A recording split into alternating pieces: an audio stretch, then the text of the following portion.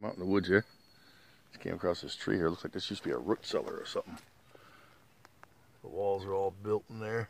It's about four or five feet high. I think this used to be the front of it right here. That's pretty cool. I think across the street used to be the uh, the house here.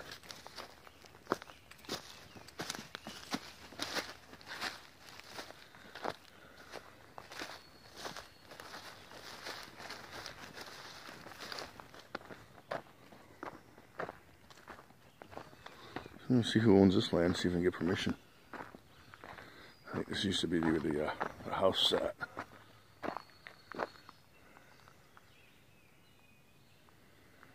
We'll scope it out, take a look.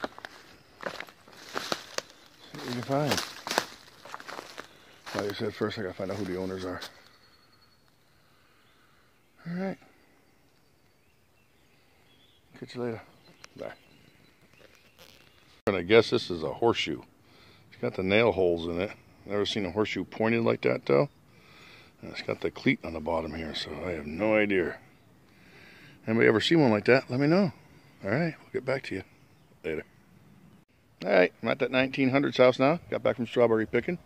Got two quarts. Can't wait to cut them up and have me some more strawberry shortcake.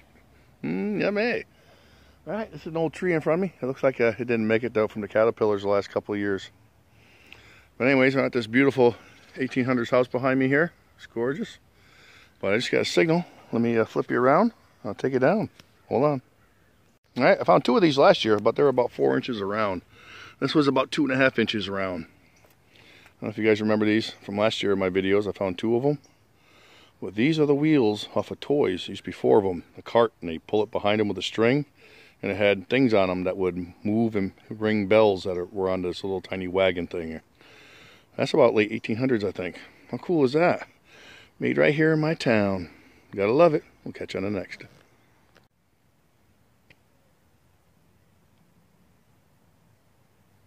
I'll go down and see it. It's a car. Let's go take a look. Here we go. There it is. It's got small wheels, it looks like. It's blue. Let me uh, get this cleaned up. I'll see what kind it is. Even got a little trailer hitch on the back there, it looks like. All right, back to the next. Get a quick picture.